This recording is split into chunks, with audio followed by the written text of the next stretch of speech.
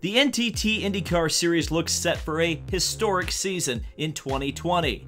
New faces, larger grids, new ownership for the series, new safety devices, and some stars from across the world of motorsport playing guest starring roles. Whether you're a new fan just checking out the series for the first time, or someone who is old hat, this guide will help prepare you to watch IndyCar in 2020. This is a bandwagoner's guide to the 2020 NTT IndyCar Series.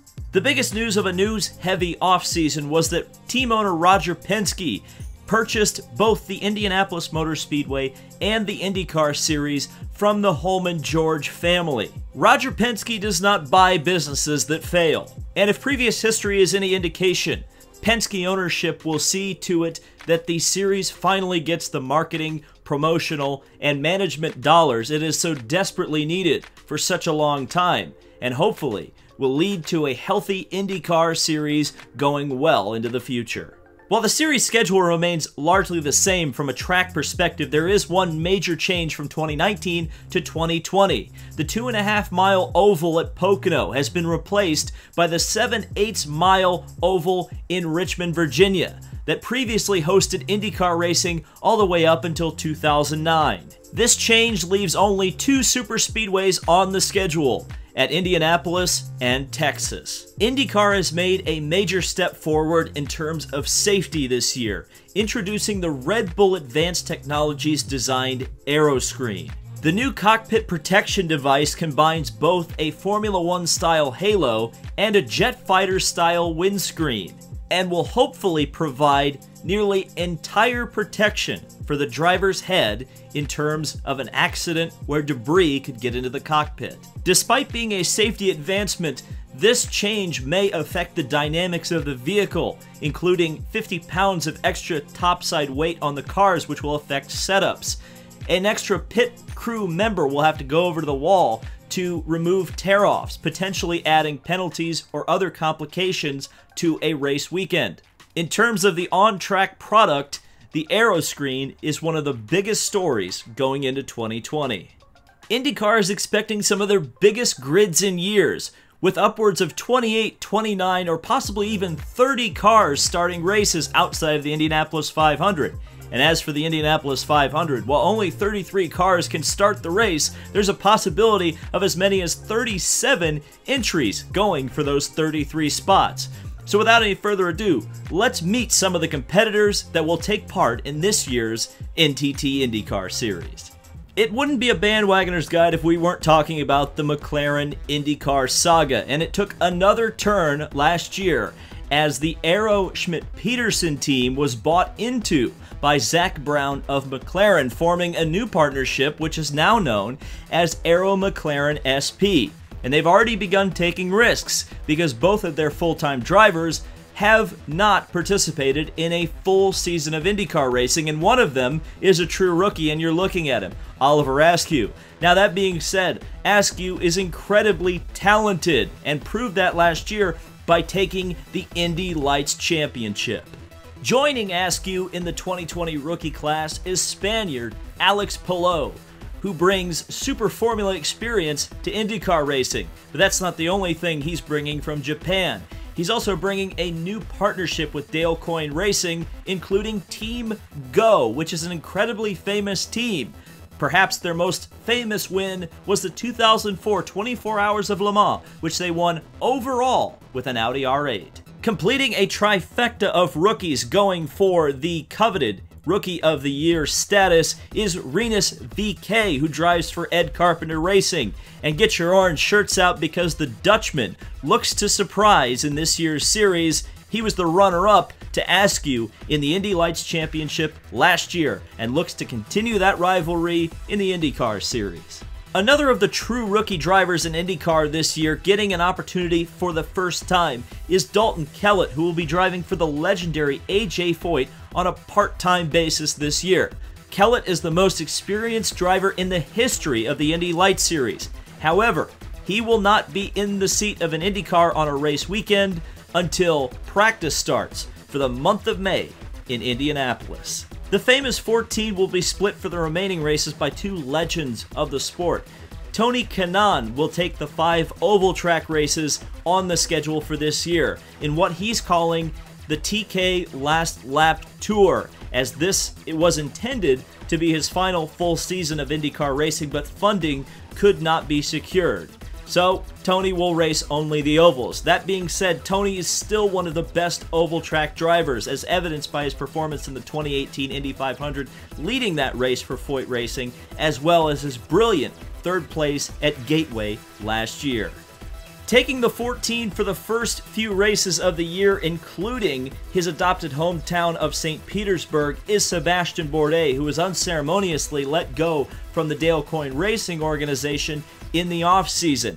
He will be looking to extend his incredible race record at St. Petersburg. He's won two of the last three years at the race and will also be looking to help AJ Foyt Racing get their road racing program up to par with the rest of the teams in the series.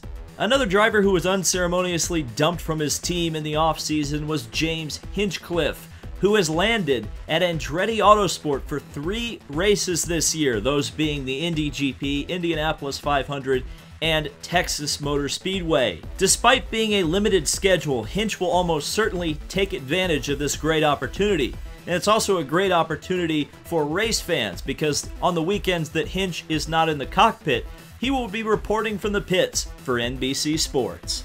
Speaking of partial season teams, Dragon Speed returns to the series for a six race schedule, and they will start the season with Ben Hanley driving at St. Pete, though it's unclear how many races the sports car driver will actually get this season. There's some rumors of some other drivers getting this opportunity later on. Another welcome return to the part-time IndyCar ranks is Dreyer Reinbold Racing, which hasn't entered a race outside Indianapolis since 2013, but they're back for a partial season schedule which includes St. Pete, Indianapolis, and Toronto, with Nazareth PA's Sage Karam. Another driver who's had to reduce from a full-time schedule to a part-time job is Spencer Pigot, who last year was full-time for Ed Carpenter Racing but was replaced by Rinus VeeKay for this year. He's got an opportunity with Rahal Letterman Lanigan along with Citrone Buhl Autosport. That team gave him an opportunity to start his very first IndyCar race in 2016. So it's a bit of a homecoming for Pigot, and he'll be looking to impress. Helio Castroneves fans, prepare yourself. This year's Indianapolis 500 may well be the last time you get to see him in an Indy car and the last time he gets an opportunity to run for his fourth Indianapolis 500.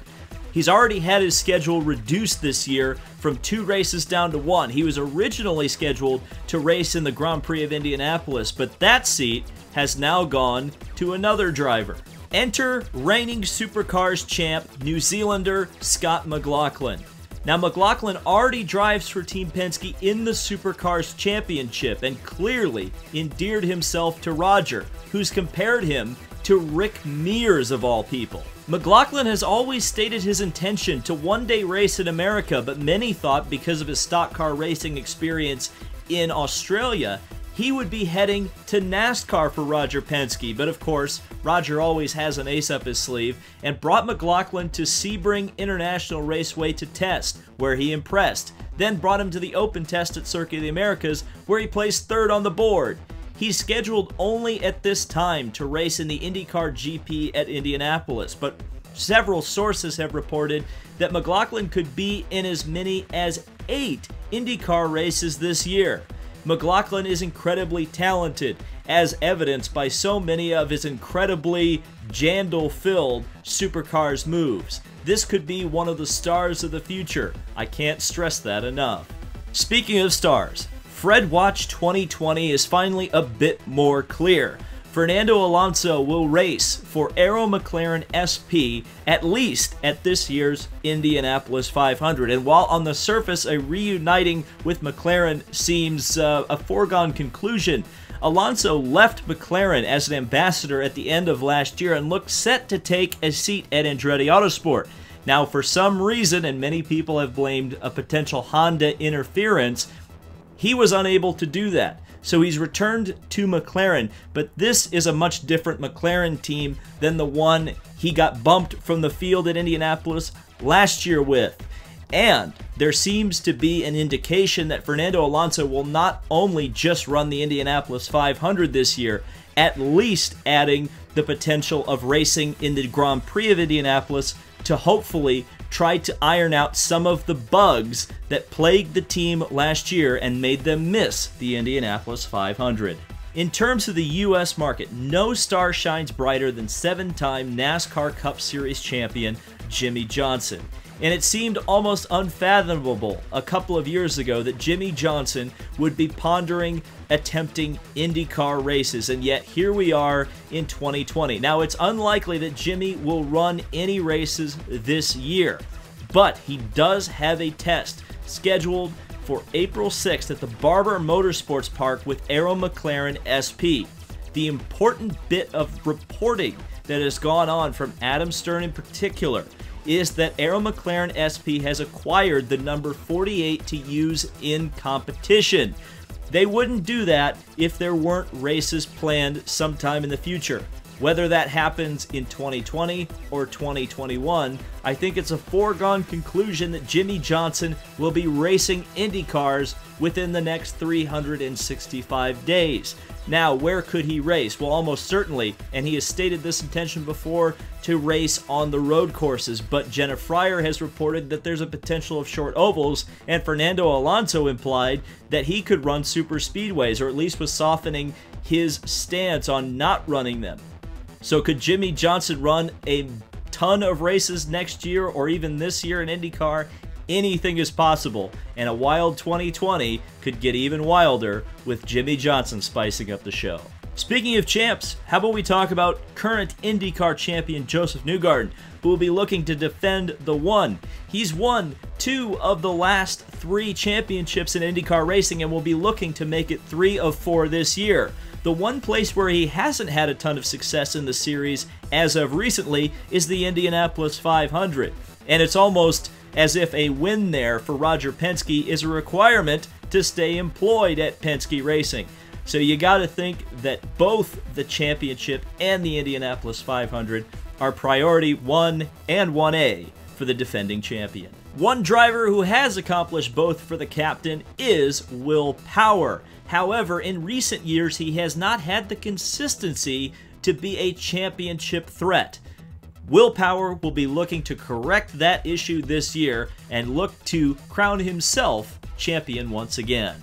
Rounding out the captain's forces this year is defending Indianapolis 500 winner Simon Pagenaud, who is yet another driver in the Penske stable who is capable of winning an IndyCar championship. And that certainly will be the goal this year, as well as becoming the first driver to go back to back at the Indianapolis 500, since another captain driver Helio Castroneves did it in 2001 and 2002. Charlie Kimball returns to the series on a full-time basis and is the only driver for AJ Foyt Racing that will contest the entire championship. Pato O'Ward returns to the IndyCar Series after leaving Carlin Racing mid-season last year to pursue a Red Bull Racing contract. However, he was released from that contract near the end of the season last year and returned to the United States to race for the new Arrow McLaren SP. O'Ward is incredibly talented, and it will be very exciting to see how he's able to handle the pressure of a big team like McLaren. Scott Dixon is without a doubt this era's most legendary and prolific driver. He's only third on the all time win list. The drivers he's behind are named AJ Foyt and Mario Andretti. Let's appreciate Scott Dixon while we have him. Felix Rosenqvist was the top rookie last year, taking the Rookie of the Year honors. In his second year for Ganassi Racing, with experience on all the tracks under his belt, it will be interesting and exciting to see how his development progresses. Chip Ganassi Racing has essentially become Team Sweden as they've added a third full-time car this year for Marcus Ericsson, who last year raced full-time for Arrow Schmidt Peterson Motorsports, as well as split his time as test driver for the Alfa Romeo F1 team. Ericsson is totally focused on IndyCar racing this year, and because of the strength of Ganassi Racing, he is quite simply set to be one of the sleeper picks as someone that will be very strong this year.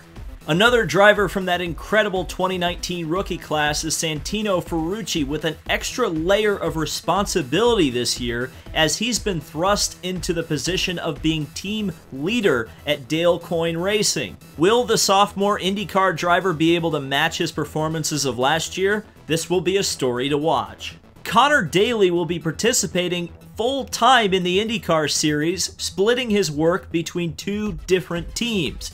For Ed Carpenter Racing, he will be running the road and street circuits as well as a one off entry in the Indianapolis 500 in car number 20.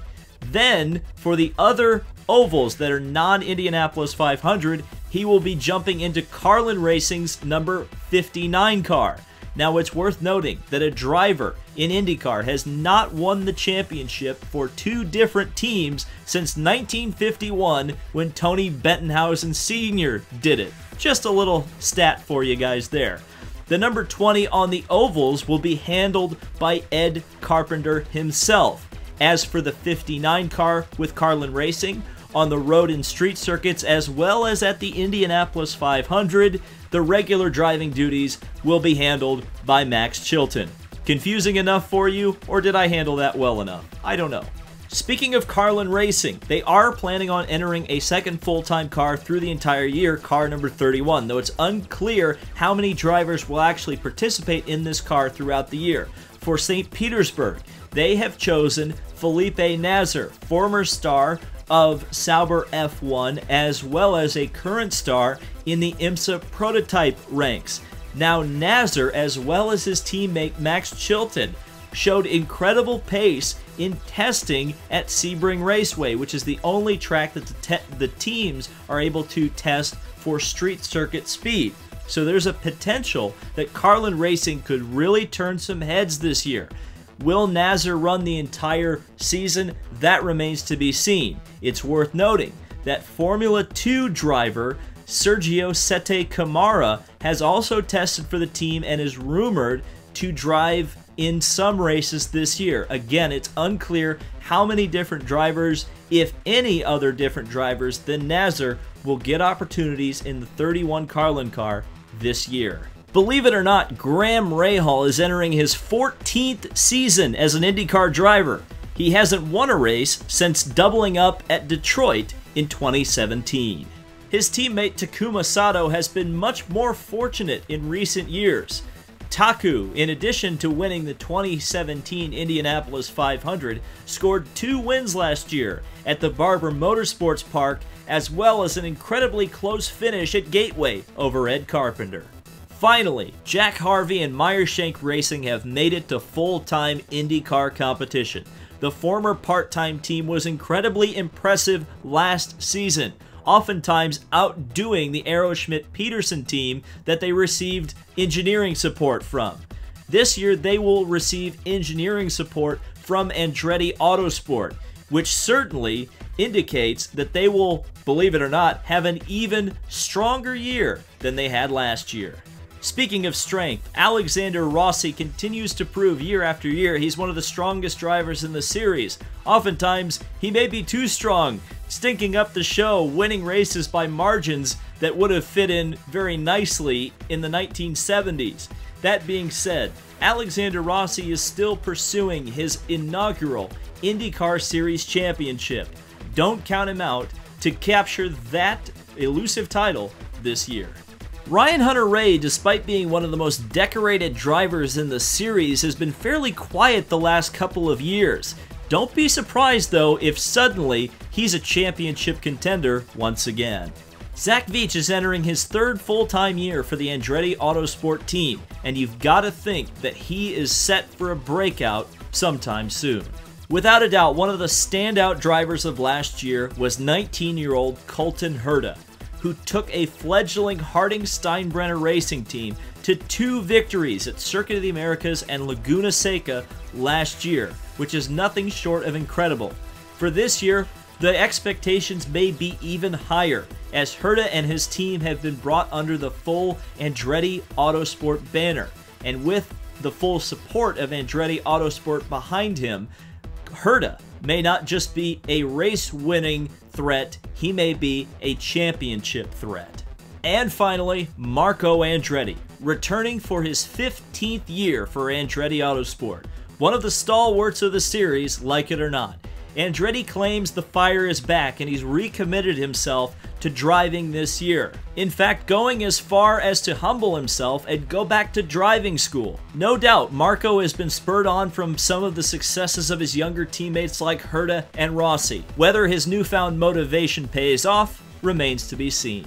So that's a look at how the 2020 NTT IndyCar Series is shaping up. What do you think? Who do you think is going to be fastest here? Who do you think is going to be slow? Who do you think is going to surprise? Let me know down in the comments below. Be sure to subscribe for more IndyCar content. I will be at the St. Petersburg Grand Prix as well as several other IndyCar races this year covering the series on the channel. So be sure to look out for that. It's going to be awesome. Thank you guys so much for watching. This has been David Land on YouTube. We'll see you in the next video.